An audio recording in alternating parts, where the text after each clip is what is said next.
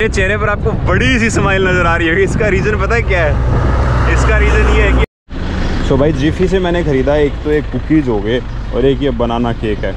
तो भाई पूरा डिट्टो जो सेवन इलेवन था ना समझ लो उसी को लाकर जीफी में रख दिया है। अभी एक तरबूज लिया भाई लेकिन ये सही नहीं निकला मेरे ख्याल से खाने के लिए। तरबूज बहुत बेचते हैं इस इलाके में तो कच्चा ही निकला है भाई जो आप देख रहे हो बेचारे इनको लेकर जा रहे हैं ये ये सुअर है ना इनको। इन सबको ये लोग खाते हैं यहाँ पर सब बाहर निकलने को कर रहे हैं बेचारे देखो ऐसे ट्रक्स में हाईवे पर बहुत देखता हूँ और दुख होता है यार। ये देखो भाई साहब, ये सारे सुअर हैं बेचारे। कैसे इन पे खरोंचे लाड़ रखी हैं। सब निकलने की कोशिश कर रहे हैं। सबसे ज़्यादा पॉपुलर थाईलैंड और यहाँ पर यही खाया जाता है वियतनाम में। पोर्क यानी सुअर। और ये जो ट्रक देख रहे हो आप इस टाइप के, ये सारे के सारे वियतनाम के ट्रक हैं। ये इनका मेन हाईवे है कैपिटल जाने वाला, यानी राजधानी जाने वाला। भाई साहब, देखो, अब शायद ये हाईवे बना रहे हैं प्रॉपर बड़ा हाईवे धूल मिट्टी धूल मिट्टी हो रखी है। खतरनाक। आगे तो और ज़्यादा खतरनाक हालत है। ऐसी रोड्स होती है ना तो यार मूड सा ही ऐसा हो जाता है कि ऐसा लग रहा है डर के आगे जीत वाला माहौल। ये लो भाई, पहुँच गए हम कहाँ पर? लास्ट पॉइंट पर, जहाँ से आप थाईलैंड देख सकते हो। ये नदी के उस पार जो आपको जगह नज़र आ रही है, वो पूरा थाईलैंड है। वहाँ आपको मंदिर भी दिख रहे होंगे। सब कुछ दिख रहे हो। मेरे फ़ोन में जहाँ से अभी नेटवर्क आ रहा है, वो वहीं से आ रहा है। और ये नदी है मैकोंग रिवर, जो थाईलैंड और लाओस को डिवाइड करती है। यानी इस नदी को अगर हम देखें इसको तो आप मैप में देखोगे तो आपको पता चलेगा कि ये पूरी जो बाउंड्री है, ये इन देशों को बांटती है दोनों। नमस्कार दोस्तों, मैं कर रहा हूँ India to Australia cycle tour इस वक्त मैं लाओस में हूँ और लाओस में मैं थाकेक करके एक जगह पड़ती है। वहाँ से लगभग बयासी किलोमीटर पहले कल की रात मैंने एक बुद्धिस्ट मंदिर में बिताई थी और वहाँ मेरे सामने लीलन, मेरी साइकिल खड़ी है और यहाँ पर, कल रात को मैं यहीं पर सोया था और जो मोंक थे उन्होंने मेरे को मैट्रेस वगैरह दे दी थी तो काफ़ी अच्छी नींद आई। सुबह के लगभग आठ बजे हैं और मैं जैसे ही नहा रहा था तो मोंक मेरे पास आते हैं, मुझे आकर बोलते हैं कि ब्रेकफास्ट करके ही निकलना। मोंक उन्होंने हमारे लिए ब्रेकफास्ट में देखिए क्या क्या सामान रखा है। सबसे पहले हम बात करेंगे, करेला है सैलेड में। और ये जो आप देख रहे हो, इसके अंदर आप कुछ वेजीज देख रहे होंगे, लेकिन ये पोर्क है, जो कि हम बिल्कुल भी नहीं खाते हैं। और इसके अलावा उन्होंने यहाँ पर थोड़ा सा चटनी टाइप से है, और यहाँ भी पोर्क है। और इसके अंदर है स्टिकी राइस जो कि यहाँ के काफ़ी पॉपुलर हैं लाओस के, और ये बिल्ली काफ़ी ज़्यादा गुस्से में लग रही है। तो अभी खाना तो हम नहीं खाएँगे, इसको अभी वापस जो सामने पीछे एक अलमीरा सी वहाँ वहाँ रख देता हूँ, क्योंकि मोंग है, उनका खाना वहीं रखा रहता है। तो अब बस मैं अपना सारा सामान पैक करके यहाँ से राइड स्टार्ट कर दूँगा। ये जो भोजन है, वो मैंने यहाँ रख दिया। देखो, इस जगह पे सारे के सारे करेले वगैरह भी रख दिए हैं। तो अब मैं फटाफट अपना सामान पैक करता हूँ, और मैंने चार्जिंग पॉइंट वहाँ लगा रखे हैं सारे। सो so, ये मेरे लिए कल रात को काफ़ी यूज़फुल था। इसको मैंने ढंग से ही यूज़ किया। सुबह के आठ बजकर बत्तीस मिनट हो गए हैं। पीछे जो मंदिर देख रहे हो आप ये बाउंड्री देख रहे हो वाइट वाइट यही मंदिर था जहाँ मैं रुका था आज काफ़ी जल्दी है। निकल जाता है मैं आठ बजे के आसपास फिर थोड़ा सा ऐसे ही फ़ोन वोन चलाने लग गया था। अपडेट्स देखने लग गया भाई क्या चल रहा है अपने हिंदुस्तान में। आज मैं थाकेक के लिए जा रहा हूँ। थाकेक का डिस्टेंस शायद 85 है या 82 ऐसा कुछ करके है। मैंने अभी दोबारा से चेक नहीं किया है।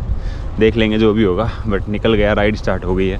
इस वक्त मैं हूँ लाओस देश में और लाओस की राजधानी वेंचाइन करके कोई है, वहाँ जा रहा हूँ मैं। तो वहाँ मैं तीन या चार दिन के अंदर अंदर पहुँच जाऊँगा, चार सौ अठावन किलोमीटर यहाँ से। राइट साइड में आपको स्कूटर वगैरह खड़े दिख रहे हैं। स्कूटी वगैरह होगी। लाओस में मैंने अभी नोटिस किया, जितने भी बाइक होगी स्कूटी होगी, गाड़ियाँ होगी, सबकी येलो नंबर प्लेट है। और मोस्टली मोस्टली जो भी उनके नंबर ही नहीं है, देखो। किसी के भी नंबर नहीं है, पीछे सारी की सारी बिना नंबर के चल रही हैं। और जिनके एक आधी के नंबर हैं, उसके येलो कलर के। खतरनाक, यहाँ पर मोस्टली लोग चलाते गाड़ी हो, कुछ भी हो, कोई नंबर प्लेट लेने की ज़रूरत नहीं है। चलने तो सीधा, कोई फ़र्क नहीं पड़ता। स्कूटर वगैरह, देखो, दोनों में से एक के नंबर प्लेट है, एक के नहीं है। सबडी। चेहरे पर आपको बड़ी सी स्माइल नज़र आ रही है इसका रीज़न पता है क्या है? इसका रीज़न ये है कि अभी आने वाला है पीटीटी स्टेशन मैंने आपको बताया था वो। जहाँ मिलती है मेरी फेवरेट कॉफ़ी कैफ़े अमेजन में। भाई, वो बोर्ड दिख गया मेरे को तीन किलोमीटर। मेरे पाँव अपने आप ही चल रहे हैं स्पीड में कि भाई, बस पहुँचने वाले हैं। अगर कैफ़े अमेजन की सुबह सुबह कॉफ़ी मिल जाती है ना, स्वाद आ जाता है। तो अब बस मैं थोड़ी दूर हो रहा हूँ, उसके बाद हम एक ब्रेक लेंगे। कल रात को इंटरनेट नहीं था, इसलिए वीडियो नहीं अपलोड कर पाए। सो वीडियो अपलोड करेंगे और उसके बाद कुछ खाएँगे वहाँ पर। जीफी भी है तो आज पहली बार मैं जीफी ट्राई करूँगा। यानी एक मार्ट जैसा होता है, कुछ ना कुछ खाने को ले लूँगा यार, और तो क्या ट्राई करना उसमें। बाकी, कैफ़े अमेजन की कॉफ़ी। वैसे मैं प्रेफर करता हूँ हमेशा, यहाँ पर तो मिलती है अमेरिकानो मोका वगैरह, यानी एकदम शॉर्ट कॉफ़ी के।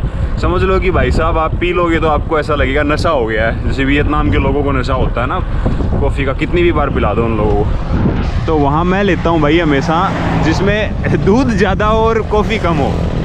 तो ज़्यादा कॉफ़ी भी सही नहीं रहती हेल्थ के लिए बट ठीक है।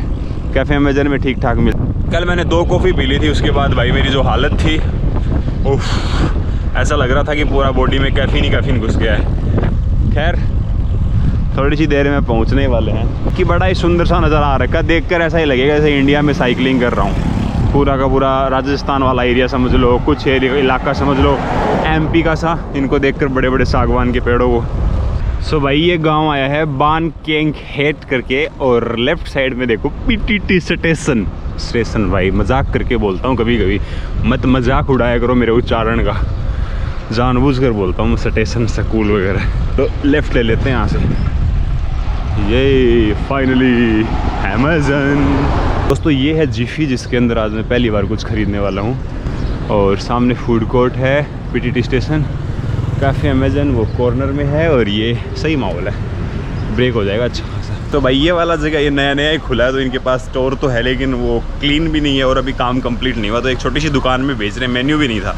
मैं चलो, कोई नहीं, आप हॉट कैपेचिनो दे दो। महँगी बहुत दी यार, एक सौ चौंसठ रुपये के आसपास तो ठीक है। बाकी ये नज़ारा सही, ये जीफी के अंदर आ गया हूँ मैं सो भाई जीफी से मैंने ख़रीदा एक तो एक कुकीज़ हो गए और एक ये बनाना केक है। तो भाई, पूरा डिट्टो जो सेवन इलेवन था ना, समझ लो उसी को लाकर जीफी में रख दिया। ए टू जेड सारी चीज़ें वही थी। कोई भी डिफरेंस नहीं था सेवन इलेवन और इन दोनों में। पहले जो देखा था मैंने एक वहाँ पर, वहाँ नहीं देखा था। वहाँ अच्छा नहीं था। एक अमेजन बन रहा है अभी। और वो सामने हमारा food centre so perfect combination भाई। कॉफ़ी एंड सब कुछ। भूख लगी है, ज़बरदस्त। कल रात को भी कुछ नहीं खाया था तो पेट भर के खाता हूँ, उसके बाद यहाँ से राइड स्टार्ट करेंगे आगे के लिए। लेट्स स्टार्ट दोस्तों, दस बजकर तेरह मिनट हो गई हैं और मैं निकल पड़ा हूँ। अभी तक मैंने 7.86 किलोमीटर कवर किए हैं। यानी जो ये पेट्रोल पंप था यहाँ तक और अब मैं आगे बढ़ रहा हूँ। तो हाईवे की तरफ़ आ गए हैं। अब पता नहीं कहाँ ब्रेक लूँगा। देखते हैं आगे कहीं मौका मिलेगा तो। बाकी यहाँ पर देखो, इस इलाके में सब कुछ है खाने के लिए। रेस्टोरेंट से भी बना रखे हैं क्योंकि यहाँ पर इनकी शुगर मिल है शुगर फैक्ट्री है। यहाँ जैक फ्रूट भी हैं वाटर मेलन वगैरह हो गए, सारे रखे हुए हैं अच्छे खासे। सही माहौल है यहाँ पर धूप तो फ्रूट्स खाने की लग गई, लेकिन छोड़ो, अब आगे कहीं देखेंगे। दोस्तों, बारह बजकर पैंतीस मिनट हो गई और हवाएँ बहुत ज़्यादा तेज़ चल रही हैं, और मैंने लगभग तैंतालीस किलोमीटर और कवर कर लिया, यानी अभी मेरे 50 किलोमीटर पूरे हो गए। सो मैं कहीं भी एक छोटा सा ब्रेक लेने वाला हूँ अभी। पानी पीने के लिए और उसके बाद कहीं लूँगा लंच के लिए ब्रेक बोल रहा हूँ, कोई ना कोई अच्छा सा रेस्टोरेंट आ जाए, कोई टाउन आ जाए, छोटा बड़ा। मैंने गूगल पे देखा ही नहीं, मैंने सिर्फ़ आज वही देखा जो मेरा फाइनल डेस्टिनेशन है, जहाँ मुझे पहुँचना है शाम तक। यहाँ से लगभग तीस किलोमीटर के आसपास और रहा है तो आज मैं जल्दी पहुँचने वाला हूँ। क्या करूँगा पहुँच कर पता नहीं। लेकिन मुझे थोड़े से काम है तो कोई मैं अच्छा सा रेस्टोरेंट देख कर अपने वो काम कंप्लीट करूँगा। बाकी ये थोड़ा पेड़ वेड़ आ रखे हैं, कोई बैठने की जगह ढूंढ रहा हूँ, कहीं मिल जाए तो। पानी पीऊँगा पहले तो और थोड़ी देर रेस्ट करूँगा कहीं पर। तो एक बच्चा देखो कितना प्यारा सा सबड्डी सबड्डी बहुत ही प्यारे बच्चे अभी एक तरबूज लिया भाई, लेकिन ये सही नहीं निकला मेरे ख्याल से खाने के लिए। तरबूज बहुत बेचते हैं इस इलाके में। तो कच्चा ही निकला है। तो ट्राई करते हैं, किस्मत में जो वही मिलेगा। सबड्डी पीछे जो वहाँ पर वो घर देख रहे हो, वहाँ पर मैंने डेढ़ घंटा, दो घंटा बिताया और यहाँ था के यहाँ से तीस किलोमीटर दिख रहा है। तो जैसे ही मैंने वाटरमेलन खाया भाई, मैं बहुत थका हुआ फील कर रहा था। लगभग पचास किलोमीटर का सफ़र पूरा हो चुका था। बावन kilometre sorry fifty two kilometre का सफ़र पूरा हो चुका था। तो मैं बाहर बेंच पर लेट गया, सोचा पाँच मिनट आराम कर लेता हूँ, फिर निकलूँगा तो अंकल जी ने बोला कि अंदर ही आ जाओ। तो भाई मैं अंदर गया। अंदर जाने के बाद में उन्होंने मेरे को प्रॉपर जगह दे दी सोने के लिए। और भाई साहब, मैंने जो नींद ली है बढ़िया, अभी तीन बजकर पंद्रह मिनट हो गए हैं और ये कुछ एरिया आ रखा है यहाँ का। एक मस्त नींद और एक रिलैक्सिंग बॉडी पूरी रिलैक्स होने के बाद अब निकला हूँ मैं अपनी आगे के लिए। था कि एक मैं डेढ़ घंटे में पहुँच जाऊँगा तो मेरे पास टाइम है और था कि एक से आगे जाना नहीं चाहता मैं। क्योंकि थाकेक में क्या है कि एक सीन है जो थाकेक है, वो थाईलैंड के बॉर्डर पर है। और मेरे पास जो सिम कार्ड है, वो वीआई का सिम कार्ड है। क्या करना है कि इंटरनेट की ज़रूरत है और साथ ही मेरा जो सिम कार्ड है, उसकी ज़रूरत है। क्योंकि यहाँ पर लाओस में शायद वीआई जो वोडाफोन और आइडिया के हैं, वो नेटवर्क्स नहीं है। यानी टावर वगैरह नहीं है। तो मुझे कुछ अप्लाई करना, कुछ ओटीपी वगैरह चाहिए, सारी चीज़ें। तो भाई मैं अप्लाई करूँगा कहाँ पर? थाईलैंड के बॉर्डर पर जाकर। क्योंकि थाईलैंड में वीआई अच्छे से चलता है। तो उसका जो नेटवर्क है वो मुझे मिल जाएगा कहाँ पर? लाओस में। जैसा कि पीछे मैंने देखा था सावन खेत में, वहाँ मेरी सिम चल रही थी अच्छे से। तो मुझे भाई मेरा वो काम करना है। और भूख तो लगी है, कुछ खाया नहीं, बस वाटर मेलन ही खाया था। वो डाइजेस्ट हो गया अभी। तो मैं देख रहा हूँ कि कहीं भी थोड़ी जगह मिलेगी, वहाँ कुछ खा पी लूँगा हल्का फुल्का यानी मेरा पंद्रह बीस मिनट का ब्रेक और हो जाएगा। तो अभी अभी तीन बजकर सत्रह मिनट हो गए हैं। और, बस चल रहे हैं आगे की तरफ़। बाकी रोड वगैरह ठीक आ रखी है स्लोप सा ही आ रखा है तो सही चल रही है साइकिल आराम से।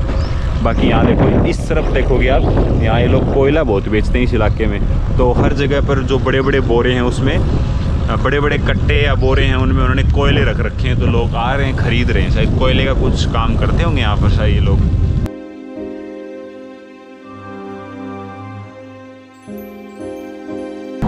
आज गर्मी खतरनाक है भाई यहाँ पर। ऐसा बर्थडे। और यहाँ पर ना मतलब मेनली लोग ड्रिंक्स कर रहे हैं सारी जगह पर। बियर पी रहे हैं सारे सारे, सब लोग। मुझे लगा सैटरडे संडे को ही करते हैं, लेकिन लाओस में तो आज मंडे है भाई, और सब लोग लगे हुए देखो, बंदा हुक्का पी रहा है। देखो, इसके हाथ में जो है, ये पता नहीं हुक्का है या सिगरेट है या क्या है। मुझे तो नॉलेज नहीं है इस चीज़ का। बट धुआँ धुआँ निकाल रहा है बहुत ज़्यादा। दोस्तों, चार बजकर बारह मिनट हो गए हैं और पहले सत्तर किलोमीटर कवर कर लिए हैं। दिख रहे होंगे आपको, पता नहीं गाड़ी में दिख रहा है, नहीं दिख रहा। बाकी इस तरफ़ देखो, थोड़ा सा पानी सा भरा हुआ नदी है, पता नहीं क्या है। और इस गाँव का नाम है बाना डोन बाकी ये जो आप देख रहे हो छोटे छोटे बने हुए, इसके अंदर क्या सीन है इनका?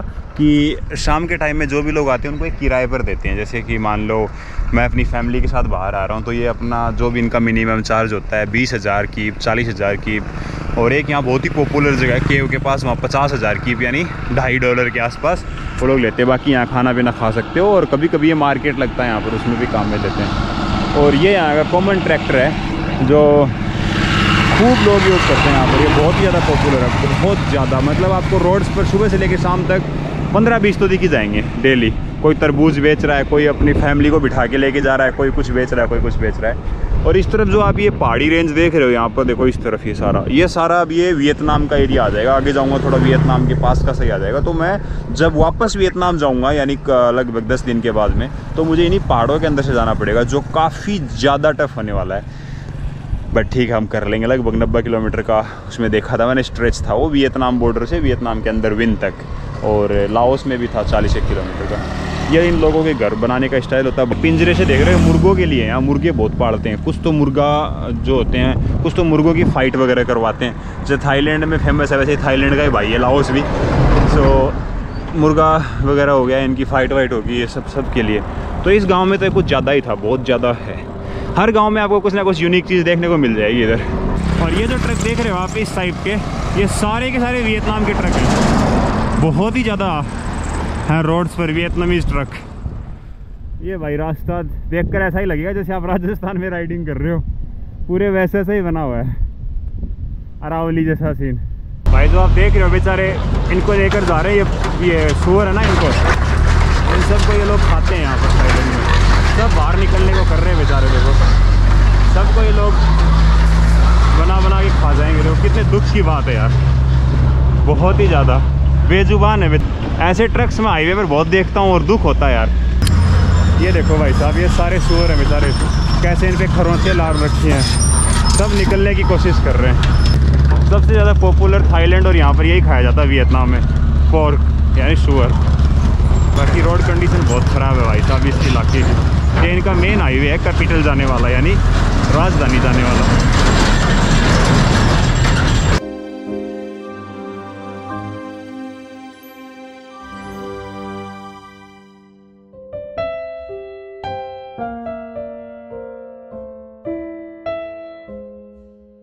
भाई साहब, देखो, अब शायद ये हाईवे बना रहे हैं प्रॉपर बड़ा हाईवे धूल मिट्टी धूल मिट्टी हो रखी है। खतरनाक। आगे तो और ज़्यादा खतरनाक हालत है। ऐसी रोड्स होती है ना तो यार मूड सही ऐसा हो जाता है कि साइकिल की वाट लग जाती है। ऐसा लग रहा है डर के आगे जीत वाला माहौल। ओहो हो इस धूल मिट्टी के बाद जितना जल्दी हो सके उतना जल्दी मैं नहाना चाहूँगा भाई साहब। पीछे ट्रक आ रहा, देखना कितना धूल मिट्टी उड़ाएगा। फिर से पीटीटी स्टेशन आ गया।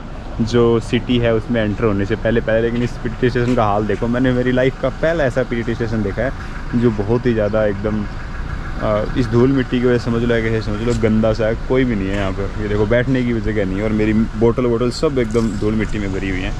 हालाँकि यहाँ से मैं सिटी पहुँच ही गया, जो भी है, बहुत ही करीब है तो मैं बस पानी पीऊँगा, और उसके बाद निकल जाऊँगा यहाँ कुछ कॉफ़ी वॉफ़ी पीने की इच्छा नहीं है। पहले सोचा था कुछ खा लूँ, यहाँ पर है एक फ़ूड कोर्ट लेकिन नहीं यार, यहाँ धूल मिट्टी ज़्यादा ही है। तो आगे सिटी में एंटर होने के बाद देखता हूँ कहीं कुछ मिलता तो वहीं कुछ खाऊँगा। और शाम के कितने बज गए? चार बजकर इकतालीस मिनट हो गए। बहुत ज़्यादा धूल मिट्टी है भाई, मेरे को नहाने की ज़रूरत है। थोड़ा थोड़ा सा टेस्ट आने लग गया। बाकी फटाफट करते हैं, फिर चलते हैं ऐसे आगे के लिए। धूप है और मौसम ठीक है अभी। सो so, भाई धूलबरी रोड थोड़ी दूर और आई और अब फाइनली जो था कि एक जो सिटी है, वहाँ एंटर हो गया हूँ। यानी सिटी में तो नहीं पहुँचा अभी, लेकिन उसके इलाके में आ गया हूँ। थोड़ी देर में हम पहुँच जाएँगे। तो सबसे पहले तो कहीं पर जाकर खाना खाऊँगा, उसके बाद सोच रहा था जल्दी पहुँच जाऊँगा लेकिन रोड ख़राब होने की वजह से थोड़ा टाइम ज़्यादा लग गया। क्या रहता है बट शहर तो काफ़ी बड़ा सा लग रहा है अपग्रेडेड सा ही। कितना सही हाईवे है कितनी सही रोड आई है। डिवाइडर वगैरह सब आ गया है। चलो जी। दोस्तों, बयासी किलोमीटर का सफ़र तय करके मैं थाकेक पहुँच गया हूँ। और ये थाकेक का समझ लो मेन सर्कल है। मैं उसी, उस रोड से आया था। इधर लेफ़्ट जाएँगे तो हम सीधा अभी बाहर हाईवे पर चले जाएँगे, यानी सिटी से बाहर चला जाएगा। और ये रास्ता जा रहा है, ये जा रहा सिटी के अंदर। यानी यहाँ पर जो मैकोंग रिवर है, यानी थाईलैंड के करीब जा रहा है। और मेरे जो फ़ोन में नेटवर्क है, वो आ चुके हैं। तो मैं अपना काम कर सकता हूँ। तो मैंने चूज़ किया, यहाँ पर दो रोड है। दोनों रोड जा रही है, छोटी है ये बड़ी रोड है। तो इस हाईवे से जाऊँगा। वहाँ कुछ व्यू पॉइंट्स वगैरह हैं और एक मंदिर देखा तो यहाँ से ढाई तीन किलोमीटर के आसपास है। तो अभी उसी तरफ़ जा रहा हूँ, देखता हूँ कहाँ खाना मिलता है, क्या हो पाता है। बाकी ये कुछ इन्होंने ड्रैगन्स बना रखे हैं, देवी देवता बना रखे हैं तो चलो चलते हैं अभी इस रोड पर। इस सिटी का नज़ारा है, giraffe supermarket supermarkets बहुत हैं भाई। इस कंट्री में सुपर मार्केट भर भर के हर किसी बंदे ने अपना ब्रांड खोल रखा है। और सब के आपको दो दो, तीन तीन, चार चार वो मिल जाएँगी। ब्रांच रेड लाइट आ गई। ये लो भाई, पहुँच गए हम कहाँ पर? लास्ट पॉइंट पर, जहाँ से आप थाईलैंड देख सकते हो। ये नदी के उस पार जो आपको जगह नज़र आ रही है, वो पूरा थाईलैंड है। वहाँ आपको मंदिर भी दिख रहे होंगे।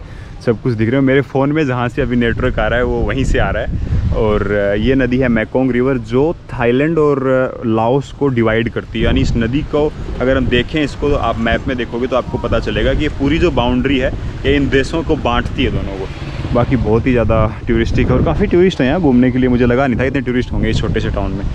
बट ठीक है, बढ़िया है। सामने थाईलैंड नज़र आ रहा मेरा जाने का बहुत मन कर रहा था थाईलैंड, वाह। इस मंदिर वगैरह। चलो, अब मैं अपना मंदिर ढूंढता हूँ कहीं पर। पहले वहाँ पर एक बना रखा उन्होंने, वहाँ चलते हैं। उसके बाद हम कुछ खाएँगे, फिर मंदिर में चलेंगे। सो so, भाई, पीछे जो आप ये देख रहे हो, ये मंदिर है। और मैं आज रात को इसी मंदिर में स्टे करूँगा। मैंने पहले ही डिसाइड कर लिया। मैं देख लेता हूँ यार, अंधेरा होने पता नहीं मिलेगा या नहीं मिलेगा। कभी जा रहा हूँ मैं खाना खाने के लिए। और सामने ये रेस्टोरेंट है, विस्ता रेस्टोरेंट, काफ़ी ख़तरनाक एक्सपेंसिव लग रहा है। तो अब चले भाई अपन सनसेट देखने के लिए। यहाँ पर एक सनसेट पॉइंट है और काफ़ी सारे एरियाज़ हैं जहाँ पर फॉरनर्स घूमने आते हैं। तो चलो उनको एक्सप्लोर करते हैं। इस इलाके में खाना तो महँगा ही मिलेगा क्योंकि ये टूरिस्ट एरिया है। ये भाई थाईलैंड की तरफ़ बहुत ही खूबसूरत सनसेट हो रहा है।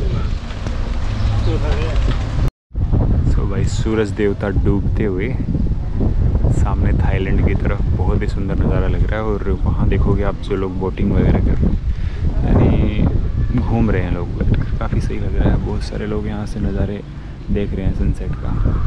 सही माहौल है। सो दोस्तों, सात बजकर पैंतीस मिनट हो गए हैं। मैंने अभी यहाँ पर एक रेस्टोरेंट में खाना खाया, एक भाई मिल गया था जर्मनी का, उसके साथ बैठकर।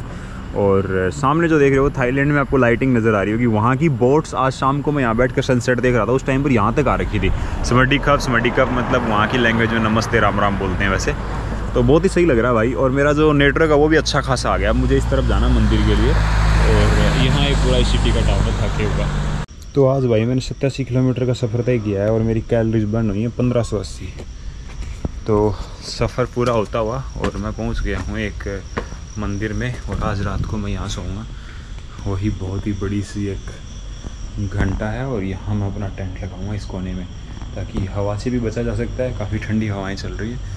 तो ये प्लान है भाई मेरा कि मोंग है, उनको मैंने एक बार बोला और बोलते उन्होंने मेरे को हाँ बोल दी तो अच्छा रहेगा मुझे। और भाई प्लीज़ यार चैनल को सब्सक्राइब कर दो यार, थोड़े सपोर्ट की ज़रूरत है आप लोगों की। तो सब्सक्राइब कर दो और लाइक कर दो और कमेंट करके बता दो कि कैसा रहेगा। थैंक यू सो मच जय हिंद. Bye bye